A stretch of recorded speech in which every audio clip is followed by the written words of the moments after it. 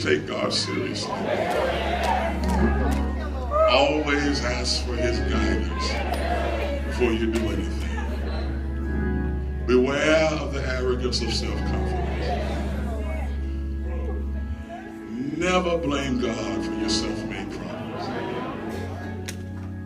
Be ready to listen for his means of correction.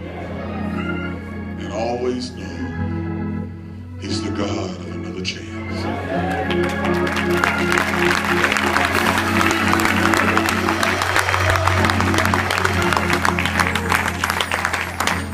Somebody tonight, somebody tonight, somebody tonight, the Lord has spoken to you.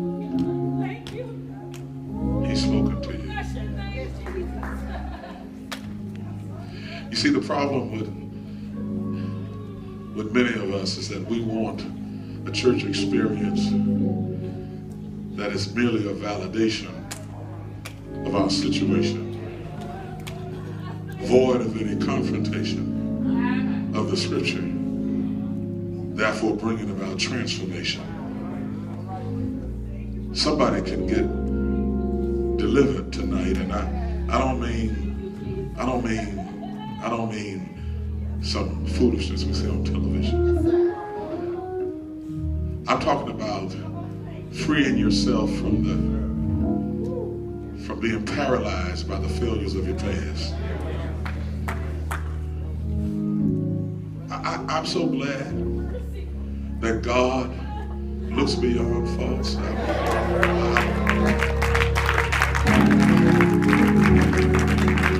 And, and see, the thing about God, God says, all you have to do is surrender. Surrender. Don't be stiff-necked.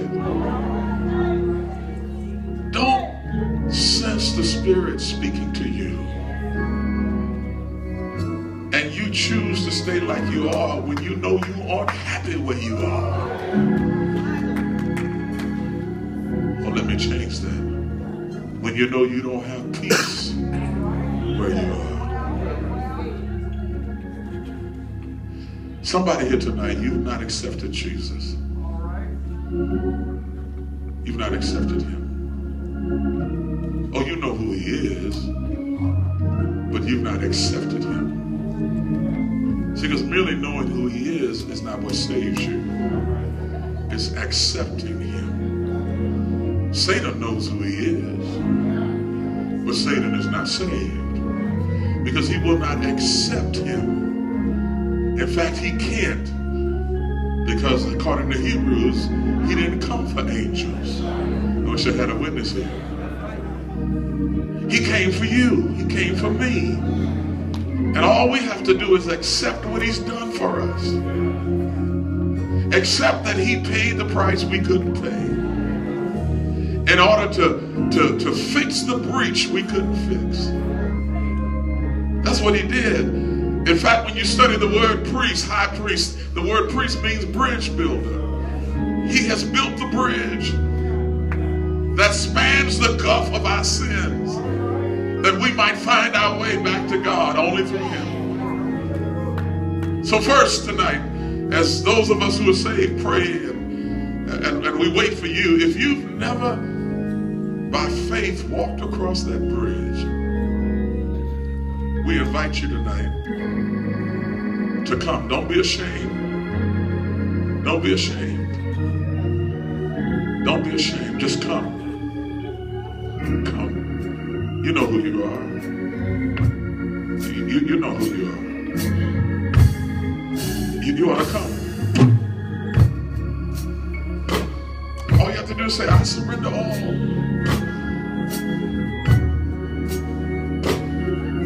Just come. Say, but Pastor, I go to church every Sunday. Well, let me tell you, I, am a, I'm, a, I'm a PK. I was, I, I, my father was a pastor. I, I spent every Sunday in church, but I was lost in the church house.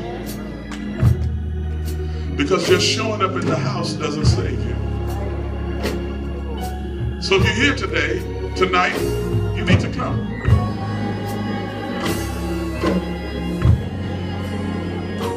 The Lord is calling you. You say, I can't do it in front of all these people. Yes, you can. Because if you're ashamed to own him before men, the Bible says he'll be ashamed to own you before his father. And I wouldn't let nobody keep me from Jesus. But while you ponder that, somebody else may be here tonight, and, and for whatever reason you've walked away from the family of God. Like Pastor Brooks said, you're out of fellowship. You like coming to church stuff, but you don't want to be bothered with church folk. But let me tell you something, that's no excuse. That's no excuse. None of us are perfect in the house. But we, we need each other.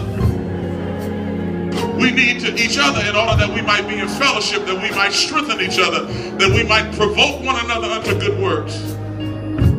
So if you don't have a church home tonight, you need to come. One of these pastors will be glad to take you in.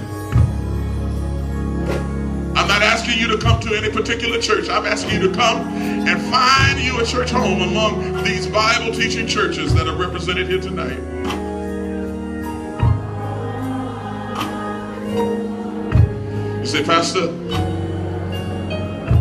I'm saved and I'm I'm in a church. But Pastor, I've done some stuff without God's permission. And I suffered some bad defeats. And I need to talk to God tonight.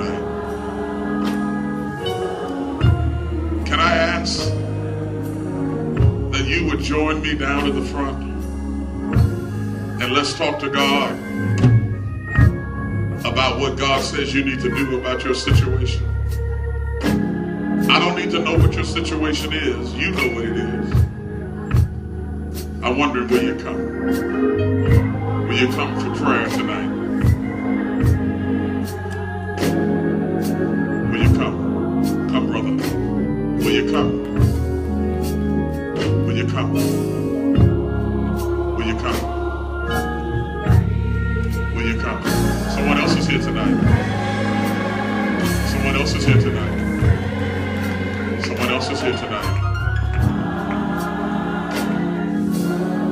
I see you, sister. Will you come? You, you, you, you know what God said to you tonight. You know what God said to you. You know, you, you, you know what God showed you tonight. You, you, you need to come. Because you can leave here lighter. You can leave here free. Am I talking to somebody here?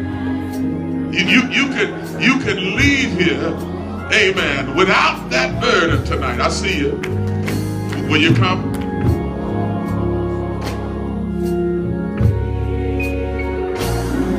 Will you come? Come Somebody learned some lessons tonight.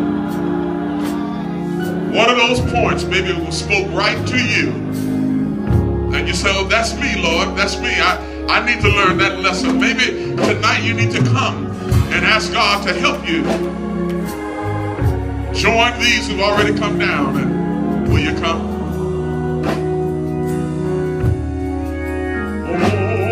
Oh, will you come?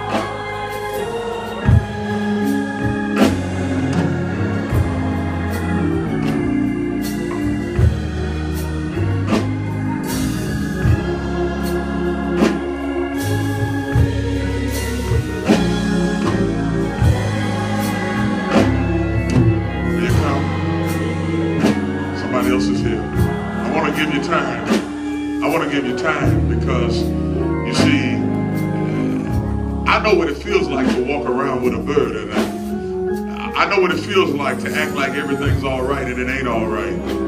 I wish I had a witness here. I, I know how awful that is. Amen. And, and, and whenever I find myself in a messed up situation, I run quickly. Hello, somebody.